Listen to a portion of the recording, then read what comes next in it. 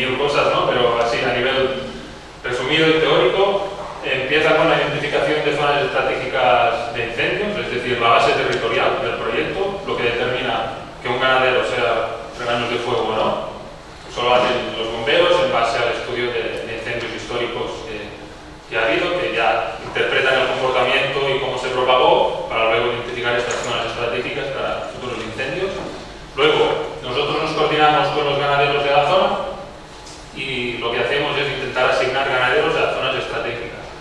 No solamente esto, sino que eh, hacemos un acompañamiento, es decir, vamos con ellos en la zona y de acuerdo con, sus, con, con su tipo de rebaño, ¿no? con el número de cabezas, etc., pues vemos cómo debe hacer el pastoreo para cumplir con los objetivos de prevención de incendios. ¿vale? Es un pastoreo, el pastoreo por prevención de incendios no es un pastoreo y ya está, es un pastoreo que tiene que tener unos objetivos y estar bien, bien definidos en, en un plan de pastoreo. Luego, eh, una vez al año estos ganaderos uh, pasan una certificación por parte de ingenieros del departamento competente en bosques y uh, al final es los que determinan si el ganadero ha cumplido o no con los objetivos que se habían marcado. Si cumple, luego ya puede vender el, el producto, entramos en la segunda parte ¿no? de, de, comercialización, que puede vender el producto con el sello de, de Ramaz y al final eh, hemos visto que tiene un buen impacto en carnicerías y restaurantes a nivel de consumidor, es decir, que la gente pregunta y se interesa. Eh, no tanto a nivel de ventas, que luego ya entraré más en detalle. Pero al final, eh, lo que da valor añadido no es el sello en sí mismo, al final hay, hay, hay muchos sellos en el mercado, ¿no? y lo que le da valor es que el carnicero o el camarero, quien sea, cuente bien el proyecto y haga entender al, al consumidor de dónde sale este sello y qué es lo que está a punto de, de comer o de comprar. Otro tema que es importante, ahora mismo el proyecto está ligado a unas ayudas que se empezaron en 2018, es se llaman ayudas de gestión forestal sostenible, una línea concretamente de mantenimiento de zonas estratégicas mediante la, ganadería, el silvopastoralismo. ¿Por qué estamos ligados a estas ayudas? Básicamente por dos motivos. Primero, porque permite que sean los mismos ingenieros del departamento quienes hagan las inspecciones, de manera que el proceso queda mucho más limpio, no somos nosotros como impulsores del proyecto. Y segundo, importante, permite que los ganaderos tengan un pago que oscila entre los 50 y 140 euros por hectárea anuales. hemos estado haciendo cálculos en relación a esta cifra. Es claramente inferior a la que debería ser teniendo en cuenta que el pastoreo por prevención de incendios es, uh, es diferente, requiere de un esfuerzo extra, es decir, a lo mejor, para empezar, que a lo mejor están en zonas más remotas, de más difícil acceso, también por el tema del agua, y luego que uh, a lo mejor tú como ganadero pasas un día, al día siguiente vas a otro lugar más uh, atractivo nutritivamente, pero al tercer día a lo mejor ves que quedan cosas y vuelves. De modo que al final también esto repercute en la productividad y en el tiempo. Y esto tiene un coste extra que en cálculos estimados que hemos hecho está entre 300 y 400 euros por hectárea el esfuerzo de pastorear zonas estratégicas. Que por cierto son estas zonas que vemos aquí en el mapa. Estos, esta es la base territorial de, de Ramas de Fox. que no haya zonas estratégicas no quiere decir que no existan. Simplemente no sean, son zonas que no se han estudiado aún, pero que se están estudiando y, lo estarán en los próximos años. Y bueno, al final eh, en estas ayudas y también desde el proyecto, pues lo que pedimos a los ganaderos es que consuman entre consuman mínimo 90% del crecimiento herbáceo anual y dos tercios del crecimiento arbustivo anual. Son números que son asequibles pero exigen una cierta intensidad en el punto estratégico. Y al final el, objetivo principal y con lo que los bomberos están satisfechos es cuando el fuego es incapaz de pasar de superficie a copas. Este es el objetivo principal y si se cumple esto mm, se facilita mucho la vida al, al, cuerpo de extinción el día del incendio. Y evidentemente el otro objetivo, y que fue el objetivo con el que nacimos, es el de comercializar el producto y darle un valor añadido a nivel de permitir que la gente lo conozca y sobre todo de al final poder incrementar el producto, eh, el kilo de, de canal de los animales. Es decir, si tenemos en cuenta que pastorear zona estratégica cuesta entre 300 400 euros por hectárea, hemos calculado que el precio de canal tendría que subir un euro y medio eh, en cordero, un euro y medio el, el kilo este esfuerzo. Por ejemplo, hemos estado en este verano, con todos los incendios que ha habido, hemos estado en contacto con, nos contactaron de esto, una cadena de supermercados importante en Cataluña que tenía vender el producto. Al final nosotros lo que decimos fue que somos como el facilitador del proyecto, pero quien tiene el producto son los ganaderos, lógicamente. Lo trasladamos a los ganaderos y es cuando hicimos estos cálculos, qué más deberían pagar. Se lo comunicamos, este euro y medio más, nos dijeron que, por parte del supermercado, nos dijeron que sí y que además no repercutiría en el consumidor, que lo pondrían los, el supermercado mismo, este euro y medio más. Eh, al final no salió porque los ganaderos no, no, querían tomar el riesgo, pero también a mí se me, nosotros se, se nos generó la duda ¿no? de decir, si este euro y medio tenía que recaer en el supermercado, que en este caso podía asumirlo, ¿no? pero en el caso de una carnicería podría asumirlo este euro y medio más, un restaurante. No sé, a lo mejor es un esfuerzo de, de todos, no solamente de los establecimientos. Un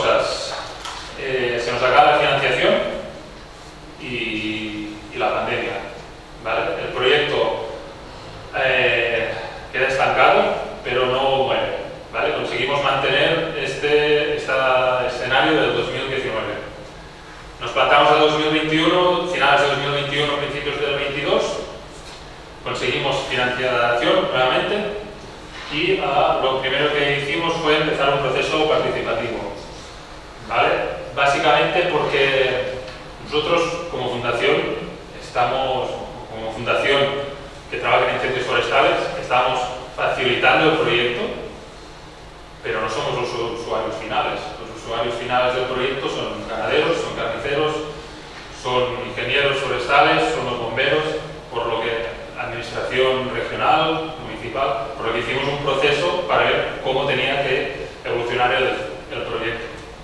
Les planteamos una serie de retos y um, que fueron estos. Uh, hay mucha letra aquí, pero bueno, es muy resumido. El, por un lado, nos encontramos, y lo habéis visto en el mapa, que hay falta de puntos estratégicos. ¿vale? Recibimos muchas solicitudes de ganaderos semanalmente que nos piden que, quieren, que han elegido el proyecto y que quieren empezar. Lo primero que hacemos es buscar los tenidos donde están, buscar zonas estratégicas alrededor y evidentemente si las zonas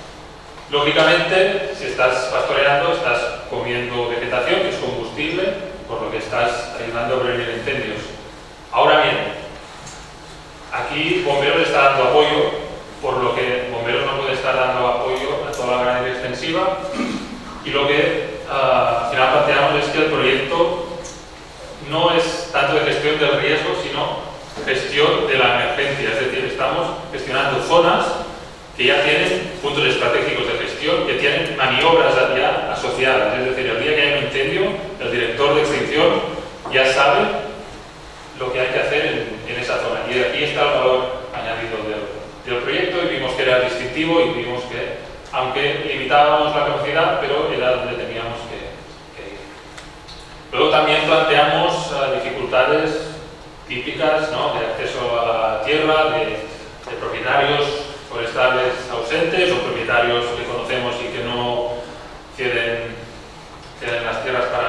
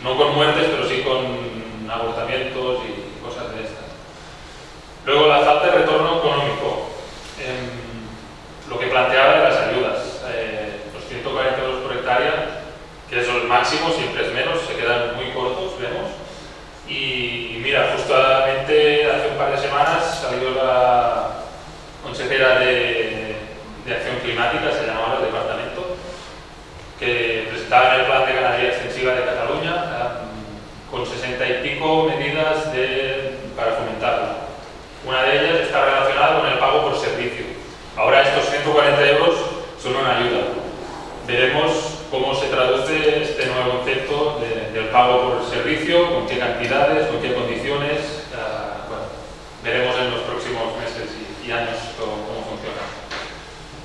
En, también resultados de comercialización. Eh, la, en el piloto sí que vimos un aumento de ventas significativo. En, ahora que hay muchos más ganaderos, no estamos viendo un aumento significativo. En, básicamente porque los ganaderos que ya con quien estamos ya eran viables antes de, de empezar el proyecto y lo siguen siendo ahora que hemos empezado el, Quien no era viable ya no existía directamente. ¿vale? Entonces, ya vendían todo el producto y lo siguen vendiendo. Sí que es cierto que les permite tener una cartera de clientes más sólida, más, más larga, algunos con lista de espera, que siempre, bueno, siempre da más, más seguridad.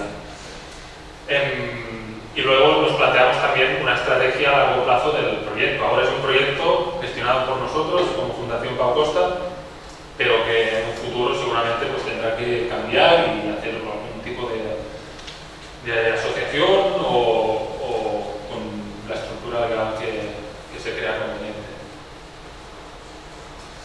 Lo que comentaba del proceso, ¿eh? hicimos tres sesiones para un poco para estructurar e invitar a la gente que consideramos clave para cada tema, de base territorial, estrategia de marca y comercialización y, y difusión o valorización. Y invitamos pues sobre todo a ganaderos, departamento de ganadería y bomberos, carniceros, restaurantes, administraciones locales a través de las diputaciones. Este es el estado actual del proyecto. En, en negro tenéis los de siempre, los de, de la provincia de Girona, que es donde empezamos, ¿vale? son 20. Ahora ya pues estamos uh, en muchos más sitios, desde principios de este año empezamos por aquí, esta es la zona de las montañas de Pradas, que tenía muchas zonas estratégicas ya marcadas por muy bien trabajadas, además con una asociación de ganaderos muy dispuesta a trabajar conjuntamente. También en la zona de la baronía de Rial, que es particularmente interesante por el tema incendios, porque es el, lástima que no haya venido más, porque es la puerta de entrada del incendio que habla siempre del Prepirineo, ¿no? que podría quemar de, de punta a punta y además hacerlo en, en invierno. ¿vale? además de otras zonas de, de, provincia de Barcelona ya hemos empezado a contactar con ganaderos que están tra trabajando zonas estratégicas y que en muchos casos ni lo sabían hasta que no hemos ido nosotros a, verles y, y, a poner el mapa de zonas estratégicas con lo que pastorean, no hemos visto que había solapamiento y que por lo tanto no solamente podían ser rebaños de fuego, sino que podían recibir estas ayudas. Y con esto ya termino en, muy rápidamente. Fortalezas que estamos viendo del proyecto para ganaderos, y esto es a través de reuniones con ellos y encuestas. Uno es la visibilidad, valorizar el oficio, rebaños de fuego como argumento para encontrar nuevos canales de distribución, que comentaba antes, y facilidad para encontrar nuevas zonas de, pastoreo. Esto también lo hemos hecho, aunque no sean zonas estratégicas, como también nos contactan propietarios forestales, pero al final un poco hacemos de, de banco de tierras también, intentando conectar propietarios con, con ganaderos. Para la sociedad, pues hemos visto a través de encuestas que se valora la prevención de incendios, productos de calidad y la gestión forestal química. Como debilidades, importantísimo, la falta de, de zonas estratégicas es nuestra base territorial y es lo que determina qué ganadero de rebaños de fuego y quién no. La certificación también, aunque estamos en vías ya de mejorarlo a través de una metodología diseñada por, por el Centro de Ciencia y Tecnología Forestal de Cataluña, que están empezando a formar técnicos y, y aplicarla en, las certificaciones. Al final se trata de ser, ahora lo hacían inspección visual, o sea, al final se trata de ser más, uh, más justo con todos y que no dependa tanto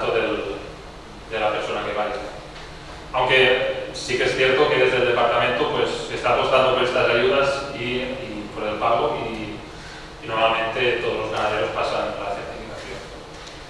La sostenibilidad del proyecto a largo plazo, hemos visto como si hay financiación, el proyecto sale adelante, sin financiación no sale. Básicamente porque estamos haciendo este rol de facilitar el proyecto y sin este rol, lo hemos visto, no funciona porque la gente que está se lo cree estamos viendo es que seguramente un poco estamos haciendo el trabajo de, no me gusta decirlo así, pero que tendría que hacer la administración pública en algunos casos.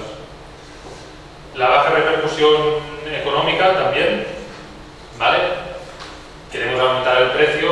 Los ganaderos, por hacer el símil, a veces en este tema son muy ovejas y tendrían que ser un poco más lobos. Es decir, mm, desconfían de ellos mismos, ¿no? Si tienes más demanda, es lógico que te plantees subir el precio del producto. No, no se atreve. Pero bueno, estamos en ello. Ampliar el rebaño también es una opción, aunque es muy inviable por tema de veterinaria, tema de logística de la explotación, ¿no? que al final a lo mejor ampliar el rebaño implica tener que echarle más horas o contratar a alguien, por lo que al final, por lo que ganas por un lado lo pierdes por otro el pago por servicio, que en esto sí que, lo ven, siempre y cuando hagan el trabajo y no sea pastoral y ya está. Que sea un trabajo bien hecho de prevención de incendios, hecho en primavera además, que es cuando, es cuando hace falta trabajar, porque si la pluviometría nos dice que las zonas de de mayor lluvias es en primavera, luego si no has pastoreado ahí, crece, se seca y en verano es lo que hace correr a los incendios. Y aprovechar partes del animal que ahora no,